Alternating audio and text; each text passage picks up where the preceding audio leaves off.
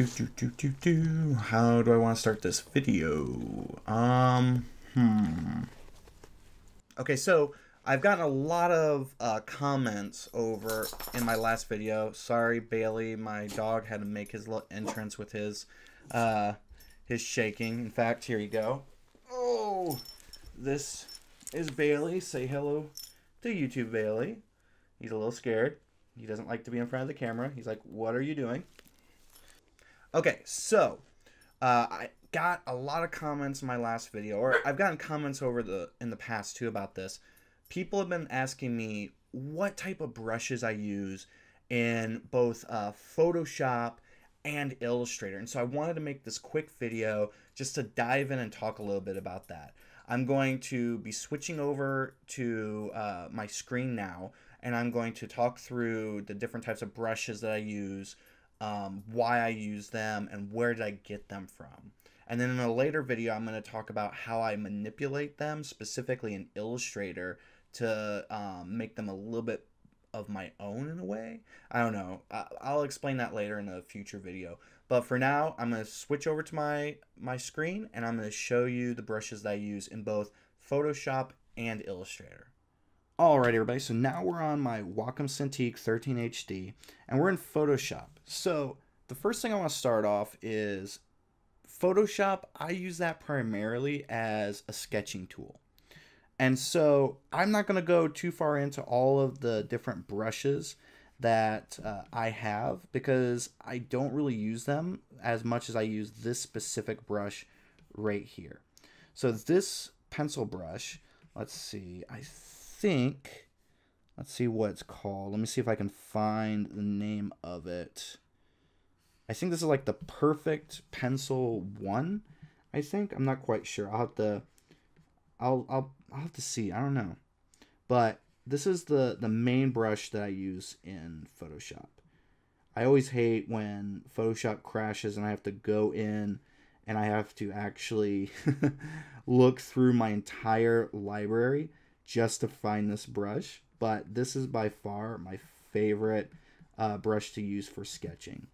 But this amazing brush is was created by Kyle Webster, or excuse me, Kyle T. Webster. All right, so to find this amazing brush and all of the other ones from Kyle Webster, you can head over to gumroad.com forward slash Kyle T. Webster. And it's literally the first product that he has here, the Kyle's Ultimate Mega Pack for Photoshop CS5 and up. Over 200 amazing natural media tools, including pencils, inks, oils, gouaches, rough brushes, pastels, FX, and more. And trust me, there are a lot of brushes here. Now, deep in this this whole mess of brushes, you can find my specific brush that I use. This one right here, the pencil brush. But I also want to want to make a quick note. I know this is going a little off uh, off the rails, but I got a comment the other day, and the person asked, "How in the world do I get this great pencil effect here?" Because normally you can't really get this effect just from a brush. I think that these brushes actually come preloaded with this effect, but for the people who might not have the uh, the money to buy this brush pack, let me quick show you the settings that I use. So I'm just going to use a regular uh, circle brush and then I'm going to go up here. See where it says opacity and you have flow? So I'm going to change my flow to 15. And then I'm going to click, make sure that this icon right here, the circle the pencil, is uh, is clicked. I can't remember what it's called. Let's see. Always use pressure. Let's see if it'll pop up again. It said always use pressure uh, and opacity. So, sorry for that pop up. So, what I what that does is it creates a brush that is similar to a way of a pencil. Very super super simple simple brush, but it gets the job done. I still will always prefer let me do my for some reason my Wacom's not working so I can't undo these. So I have to go through and do it the old fashioned way. Sorry for this. All right I'll just leave it like that. Okay so I just will always prefer to use this specific brush because look at how clean and sharp this is as opposed to using that brush. But it's super easy to, to do. If for some reason you uh, you have another brush you want to use for pencil and you still want that effect, you just go up here, make sure this icon's clicked, and make sure the flow's at 15, and there you go. That's all you need. But once again, you can find the, this amazing brush and tons more at Kyle's website. You just go to gumroad.com forward slash Kyle T. Webster. And by the way, he is not paying me for this. He's not giving me any freebies for this. I just love his Photoshop brushes. So definitely go check him out. Now, we're going to flip over to Illustrator.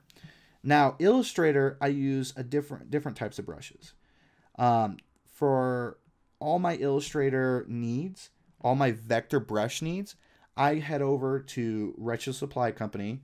Uh, my good friend Dustin Lee, he own he owns Retro Supply. He creates these amazing brushes. If you haven't checked him out before, check him out. He also has a podcast uh, called Passive Income, and I'll make sure to include links to all this stuff in the show notes below. So don't worry if you guys didn't catch any of that. I know I talk super fast.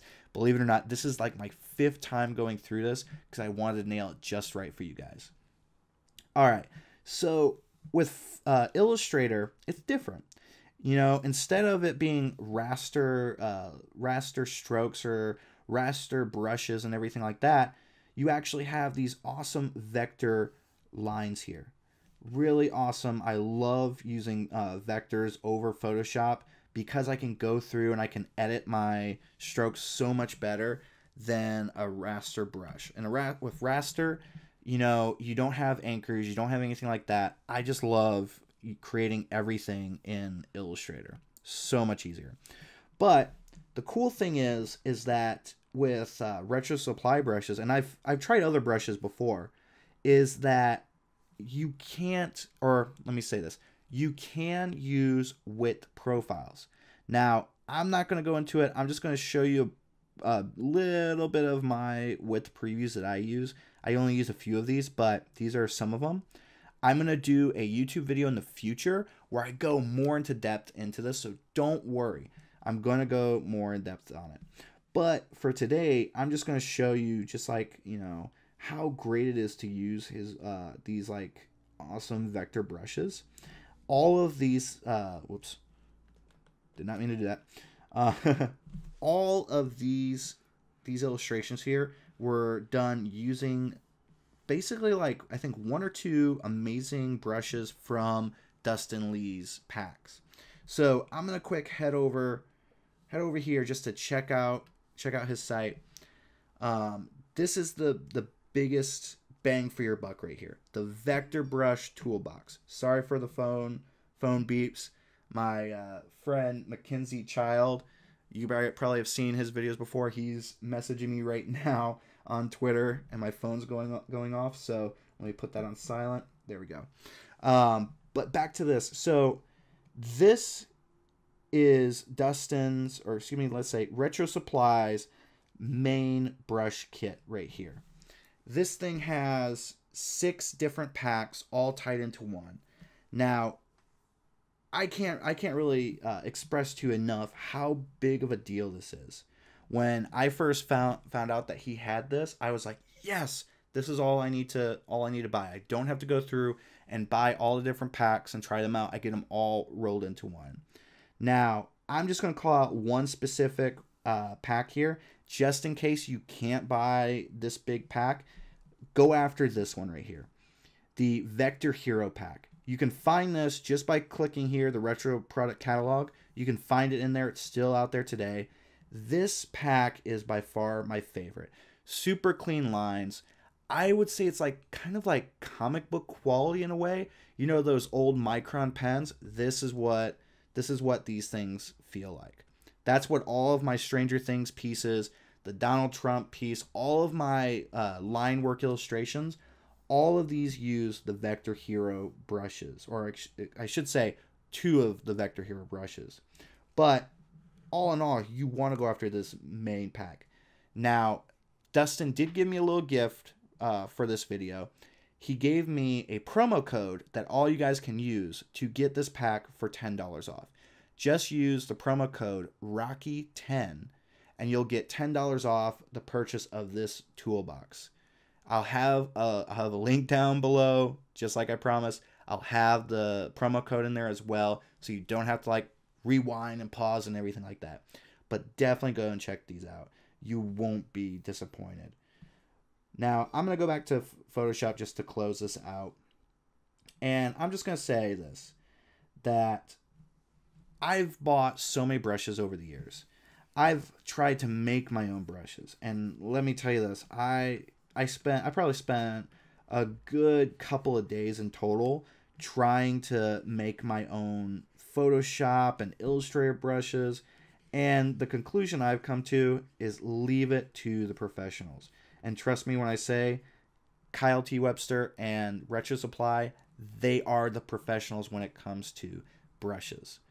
So, you know, you don't have to go and purchase um, purchase like a hundred dollars worth of vector or uh, raster brushes for Photoshop and Illustrator. These guys have, oh, excuse me, these guys these guys have some great deals on their brushes, and Retro Supply especially.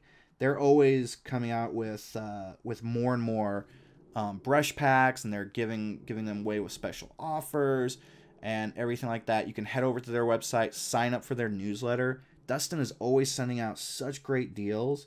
I'm always sharing with my friends, be like, hey, you guys want to definitely check these out. They're offering these brushes for $10 off, $15 off, things like that. It's always always a great deal. But like I said, I hope that these uh, that all of this stuff really helped out.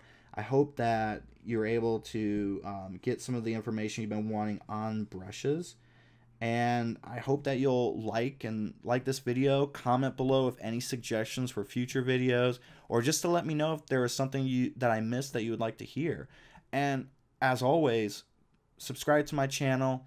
You won't miss. You won't want to miss out on all the great content I'm coming out. I also am just now starting a vlog separate from this, but in the same channel, where I think that you guys might get a kick out of seeing me do some crazy, funny stuff. So I hope you guys enjoyed this video. I hope it really helped you out. And I hope that you guys continue to, to watch these. Hope you create something great. All right. Bye.